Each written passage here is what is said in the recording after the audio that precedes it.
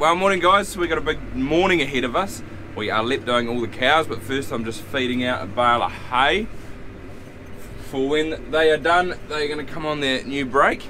And in my last video I said that I was having trouble feeding these bales out because they weren't spinning, so what I've done is put the bale on the other way and hopefully it'll work, but it doesn't look like it's going to. It's still grabbing that bottom corner. It's a pain. These bales are annoying to feed out. Damn. Well, it's sort of made a difference. It's a little bit easier. There's just spreading a bit of Causmag. Oh, it is better probably this way, I reckon. Yep, that did work better, I reckon. So must have had the bale around the wrong way. Ah, uh, little things, eh, make it so much easier. Pretty crazy though, because this was one of the last paddocks of chicory that I drilled into an annual. And usually I would have got a grazing off through of this through the winter, and look at it, it's still a wee way off grazing, so it's been a hard year. And that's the maize paddock that's gone into an annual, and it's already regrown quite well. You can see all the flooding just straight through there. But what's interesting is that there is a couple of puddles just at the bottom of these two paddocks, which means it's really waterlogged because I haven't been there in a while. So Dad was saying he doesn't think he's seen those puddles there for probably five or six years. So it just goes to show how wet it's been at the moment. I think it's just gone 8.30, so one of the girls from the vets is coming out. She is leptoing them. But we kept the cows on concrete again last night. So this is the low, uh, the late, sorry, the lates are on here. The earlies are on the feed pad. It was just a little bit unsettled weather, sort of like this, and there are a few showers coming through, so we decided to take them off grass. Plus it makes it a little bit easier this morning too, because we had to run everything through the cow shed. They're here, ready to go. Perfect timing. Almost gonna make a start, but we just noticed this girl here, and she's springing up, so she's obviously in the wrong herd or it's been date scanned wrong maybe. That can happen. Hey, hey, hey, hey, hey. Hey, hey, hey, hey. See? Quite a big udder on her. Kylie's doing it today. Nice easy jab in the bum. Doesn't take too long. Fill both sides up. Easy as. Come on. Go on in. Push, push, push, push, push.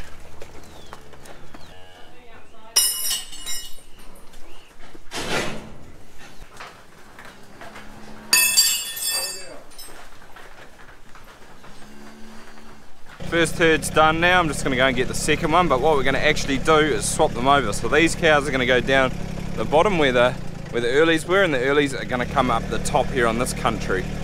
I'll explain why in a bit.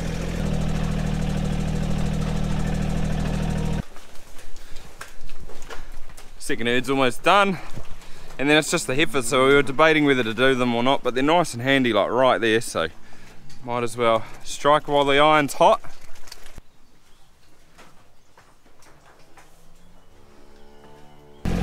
Heifers are on their way to the shed now and I'll ask Kylie for eight shots. She'll just leave them in a bottle with a gun here for me and I can use them on the milking cows because there's eight in there to do. I'm not going to bring them in now for her to do.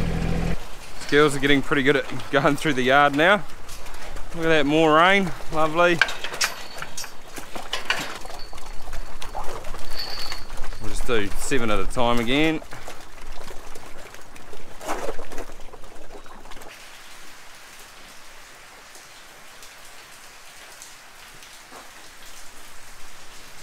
Well, that's all the big mobs done. Now it's just the milking herd, so it's just the eight. And I've been left a gun, and there's about 10 shots in here. So because it's at the end of the bottle, it's a little bit hard to get out. So I got a little bit extra, but I'll go give these milking cows, and then job done.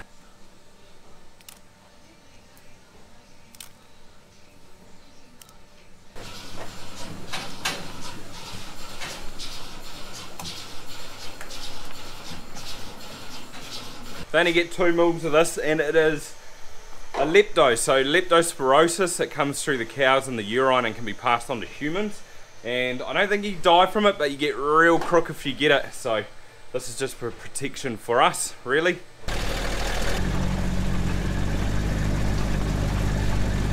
Well, it's the next day now and I'm just moving these loads. So they are going on a break over there. Fed out to them. I'll put Causmag out. Actually gonna give them two breaks today because there is another little weather bomb rolling in tonight. It's not quite as bad as the last one. As you can see, it's sort of yeah, nowhere near as big, but hopefully we might miss a lot of it and it's gonna go down the sort of east coast and onwards. So we are just located in here somewhere and we might just get the edge of it which would be nice we don't really need any more rain at the moment but I should say too that dad likes to lepto the cows right before they're going to calve he has this theory that when you jab them some are bought so if they are bought closer to the time when they're going to calve the calves are going to live and also we can milk them so a lot of people do lepto when they dry off, whereas we do it just before we calve. And uh, there's a few other people that do it like that as well. But it's a perfect opportunity where I can swap the herds over. So the earlies go up onto the higher country up there, which is a little bit closer to the milking shed, and then the lates are down here on sort of the flat country. And the reason I bring them down here is because of these things right here, these drains. So I know that all these girls in here aren't really going to calve until about the 3rd of August, and I've got these paddocks that need grazing which are right beside the drain. So I can graze these cows here because I know that most of them aren't going to calve. Well, they're not supposed to anyway. So you might get the odd one that comes early, but it won't be till sort of late July. So it's only about the 13th or 14th of July at the moment. So I'm pretty safe for the next couple of weeks.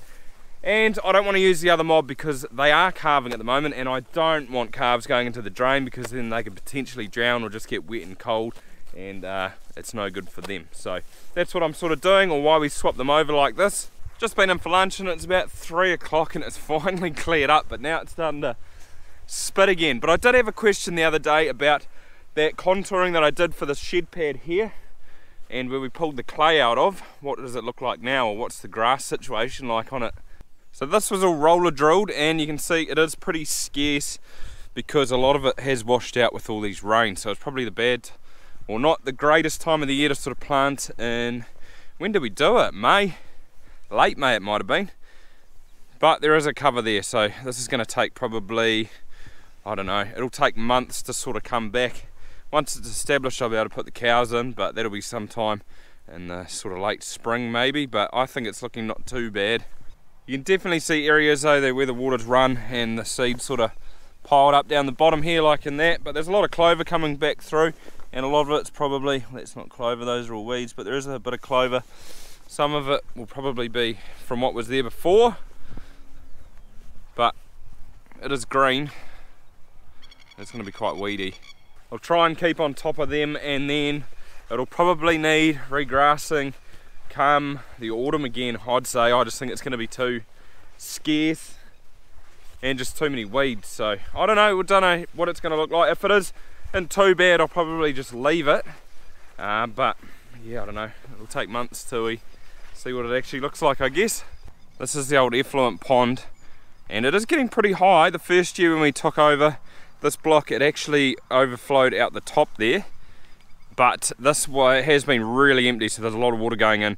And all that goes in there is clean water so no effluent goes in there whatsoever. But it is starting to spit like I said so I might try and get the drone up and show you some shots of all the flooding. It'll be quite interesting because there might be some carp swimming around out there because like I said once the drains get high enough they do come up and sort of eat all the plants and stuff. And I reckon there's enough water out on the paddocks that they can get out there and there'll be a heap of feed out there all the grass and and, and whatever else they can get but we'll have a look see what we can see too many days in the darkness without a glimpse of the light. Running tired and broken and scared, but I swear I'll never give up the fight. I see you broken and beat,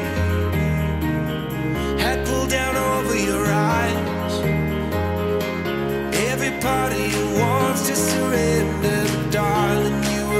to survive. With every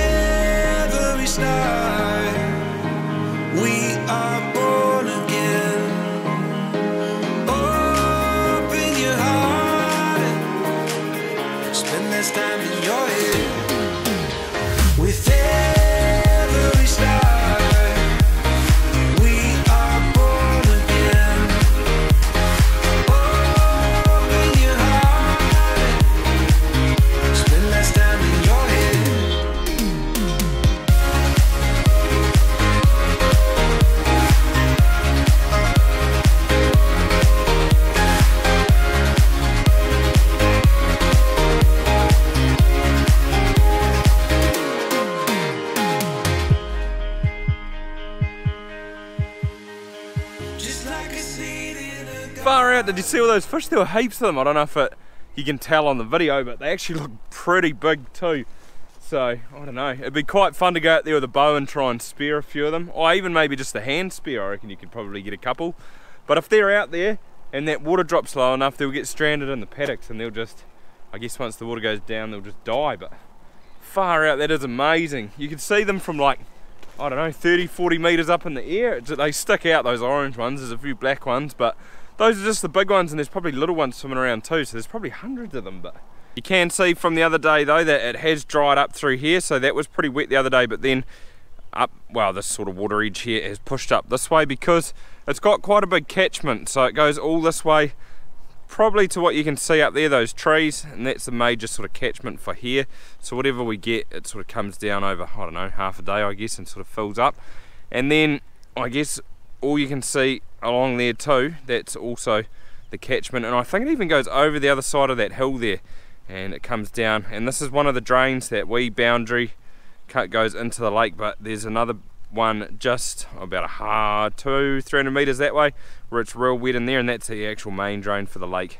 It's a bit of a pain though because there is a pretty easy solution to get rid of this flooding a little bit faster than what happens now. So down there there's the big lake and it's only got one outflow or one outlet and that is at the other end of the lake. And the council changed it I think it might have been 10 years ago maybe. I have no idea when it was actually so I can't say. But there used to be an old weir on it that you could move so they would sort of drop the lake or they'd drop the weir and let more water out in the winter when we get a lot more rain and then they'd raise it in the summer um, so the water would sort of stay in the lake and it wouldn't drop as fast which makes sense to probably a lot of people myself included and they've gone and changed it and put a permanent weir on there. So what happens now is that it floods big time in the winter and then it drops a heap in the summer. So I think they should go back to the old system of having the the mover one which would benefit us because that means we could sort of get rid of this this water through here a little bit quicker. But then I think would also sort of flush the lake out a little bit too get more water moving through there. But I guess they don't really care because they're not dairy farmers so, so it is what it is. But I hope you enjoyed the video guys. That'll pretty much wrap it up and apart from that I'll see you next time. And remember give it a like if you haven't already